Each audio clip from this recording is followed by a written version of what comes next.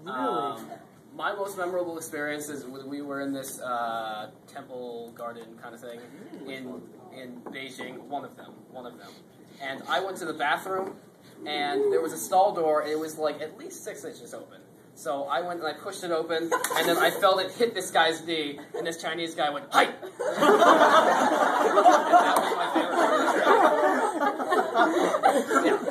And my second favorite part of the trip was when um, like salesman person lady um, came up to me on the street. She started talking to me, I didn't know what she was saying, so I did what Lola sure does when she's confused, and I went, "Huh?" and the Chinese lady went, "Huh?" I didn't know what to do.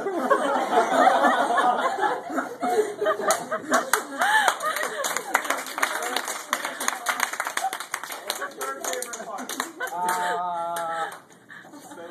Now you're talking about the third favorite part. yeah, it was probably the opening and closing shower doors. Ah, okay.